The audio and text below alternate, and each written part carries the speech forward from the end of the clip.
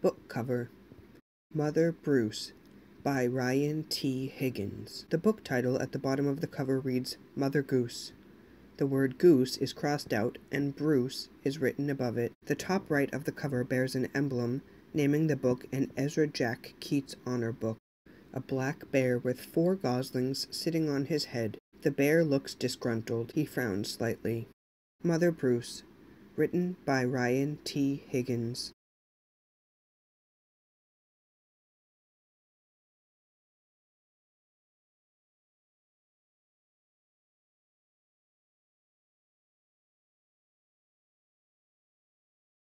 A black bear sitting on the ground, paws in front of him on an otherwise white page. He frowns. Bruce was a bear who lived all by himself. He was a grump.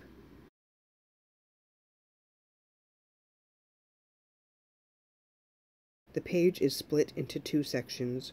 On the left, a black bear, Bruce, stands looking up at the sun. He wears sunglasses and has his right paw up to shade his face. He is frowning. On the right, Bruce stands under an umbrella in the rain. He frowns. He did not like sunny days. He did not like rain.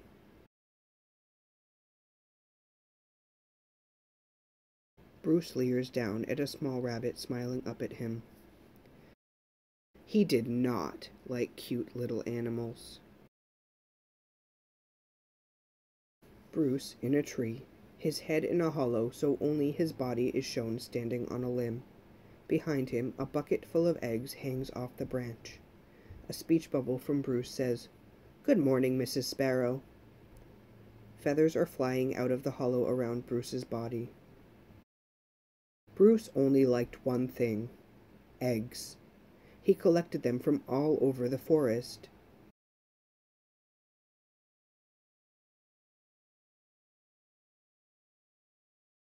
Bruce at a computer. Around his head are pictures of the foods he is researching and imagining making, including egg on toast, deviled eggs, a hard boiled egg with hot sauce and an olive, a quiche, and a fried egg sunny side up. But Bruce didn't eat eggs raw like other bears. Instead, he cooked them into fancy recipes that he found on the internet.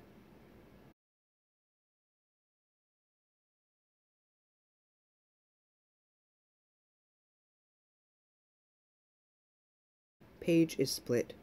On the left, Bruce at a computer, face close to the screen, tongue stuck out in concentration. A thought bubble above his head contains bees, a salmon, and an egg with a yellow sauce on it. On the right, Bruce walks through the forest pushing a grocery cart. One day, Bruce came across a recipe for hard boiled goose eggs drizzled with honey salmon sauce, so he went out to get the ingredients.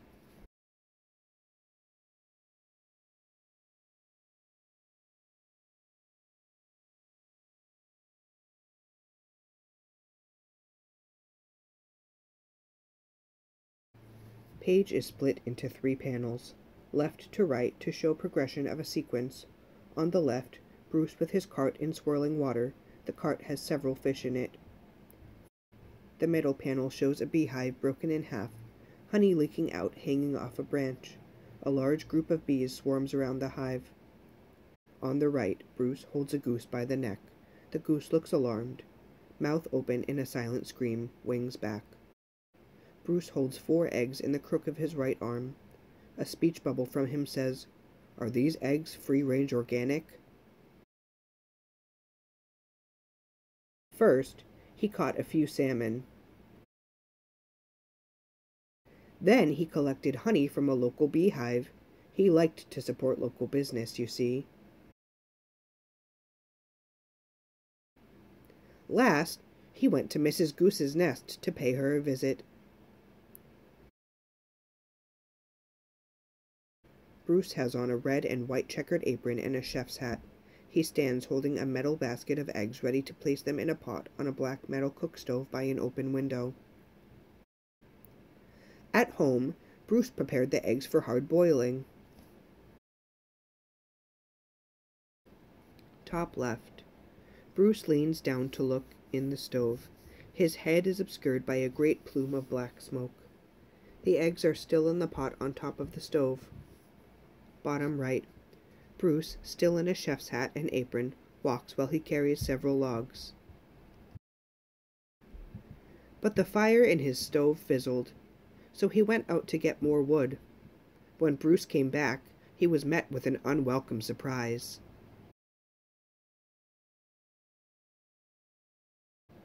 Left page. The stove with the pot. In the pot, four goslings, smiling, hatched from the eggs. A speech bubble from all four of them says, Mama! Right page. Bruce seen from behind, in alarm, arms up in the air, mouth open. The logs he carried are flying through the air.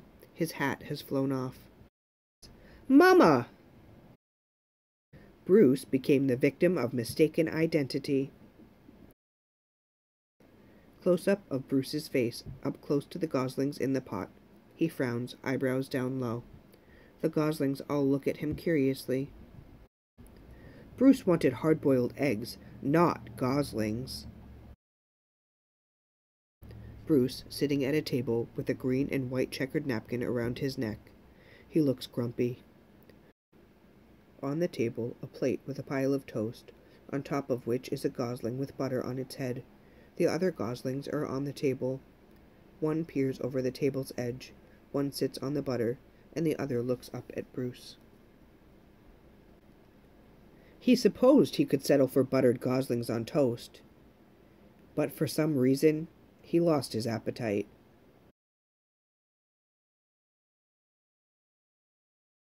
Left. Bruce, pushing a cart in the forest with the four goslings inside. A speech bubble from Bruce reads, I will have to ask Mrs. Goose about her return policy. Right. Nest with a note that reads, Be back in April, Mother Goose. Bruce scooped up the little geese and stomped back to their nest, only to find Mrs. Goose had flown south early.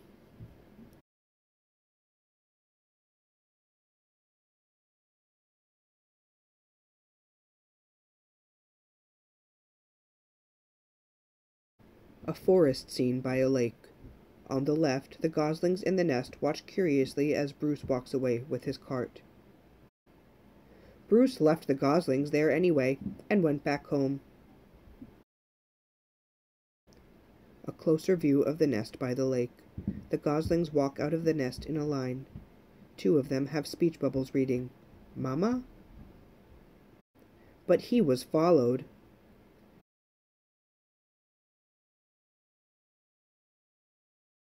Three pictures of Bruce speaking grouchily to the goslings.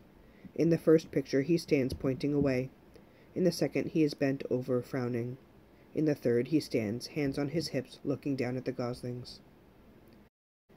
Bruce was very stern and said things like, Go away, and I'm not your mother, and also, I liked you better when you were eggs.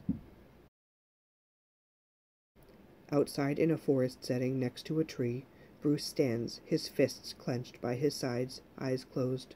A speech bubble says, Roar! next to his open mouth. The four goslings look curiously at him, seemingly unfazed. Bruce could take it no longer and became extra grumpy with them. Roar! Right side. Bruce is on a high branch on the left side of a tree. His arms are crossed and he looks to the right. On a slightly higher right-hand branch are the four goslings. The one furthest away has a speech bubble. Mama? Bottom left. Bruce runs away, the goslings pursuing right behind him. One has a speech bubble. Mama? It didn't work. Goslings always follow their mother, even if she is a he and he is a bear.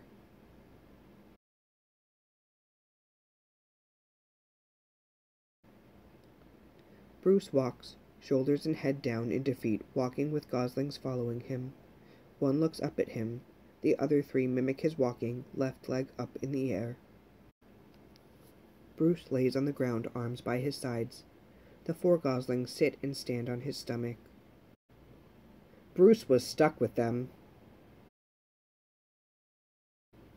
In the forest, a field leading to more trees in the background. In the foreground, a small swimming pool. The four goslings swim and splash, smiling. Bruce stands to the left of the pool wearing flippers on his feet, an inner tube around his middle, and floaties on his arms. He looks down at the goslings in the pool, slightly frowning. He tried to make the best of it. Bottom of the page. Bruce, splattered in green paint, sits next to a painting of a fish and holds a paintbrush. He looks, frowning at the goslings who are splattering paint of all different colors across the space they are in. Two are laughing while the other two explore and look at Bruce. Top right. Bruce wears a baby carrier with all four goslings in their own slot. The goslings look happy. Bruce frowns, his hands on his hips. It was hard work. Top. Bruce in a chef's hat and checkered apron stares at the four goslings in high chairs with quiches on their trays. The goslings are avoiding the food and speech bubbles above their heads state, Blech! Ew! Yuck! Bottom. Bruce and the four goslings sleep snoring on a long log. Top. Four baby goslings. One lays on the ground. One stands looking at the ground. One flaps its wings, and the last one walks away.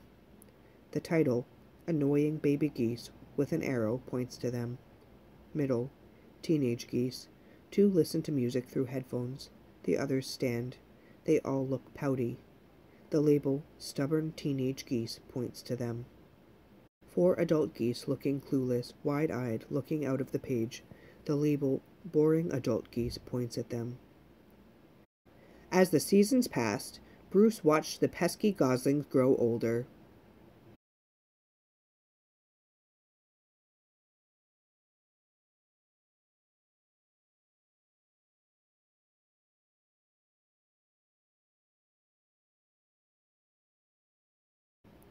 Outside a grassy hill, a blue sky with silhouettes of birds flying away.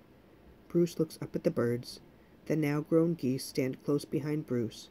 Two look straight up, and two look in front of them. Then, one fall afternoon, he saw other goose families flying south. Finally, he'd be rid of those geese, and he could take a long winter nap.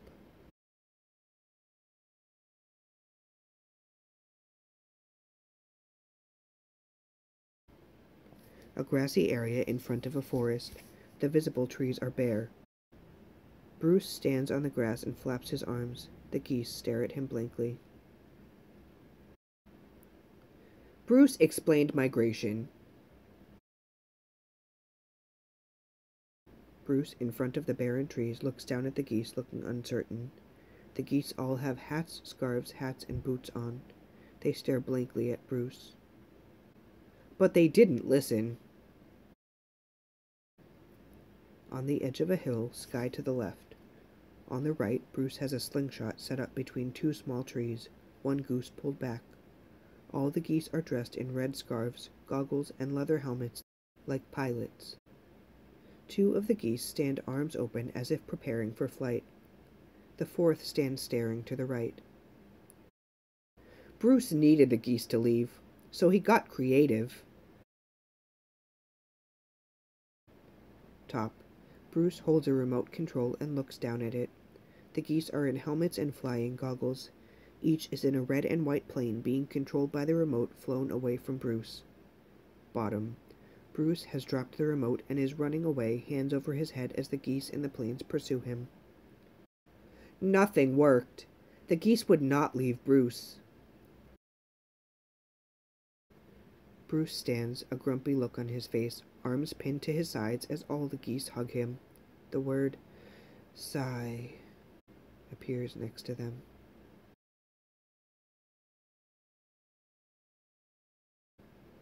The front of a green bus pulling into the left side of the page. The words express on a golden label at the top. Next to the doors, labels with a series of letters and numbers. So Bruce decided to pack some bags and take his geese into town.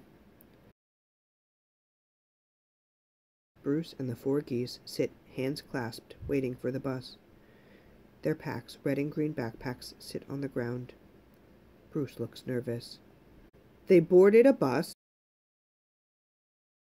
A full page spread beach scene. Palm trees in the background. Sea to the right with a sailboat in the distance. Bruce and the geese, all dressed in flowery button up shirts, lounge on the sand. Bruce sleeps snoring in a beach chair with a lemonade next to him. One goose sleeps on a towel next to a glass of lemonade. Two geese sit next to a sand castle and a glass of lemonade. One goose lounges in an inner tube in the ocean. And migrated to Miami. Now every winter Bruce and his geese head south together. They laze about at the beach in tacky shirts, sipping ice cold lemonade, while Bruce dreams of new recipes. Recipes that don't hatch.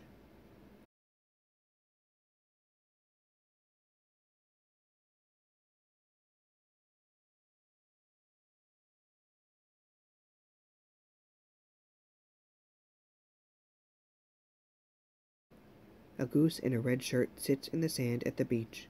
A baby turtle approaches him. A speech bubble from the turtle says, Mama? The end.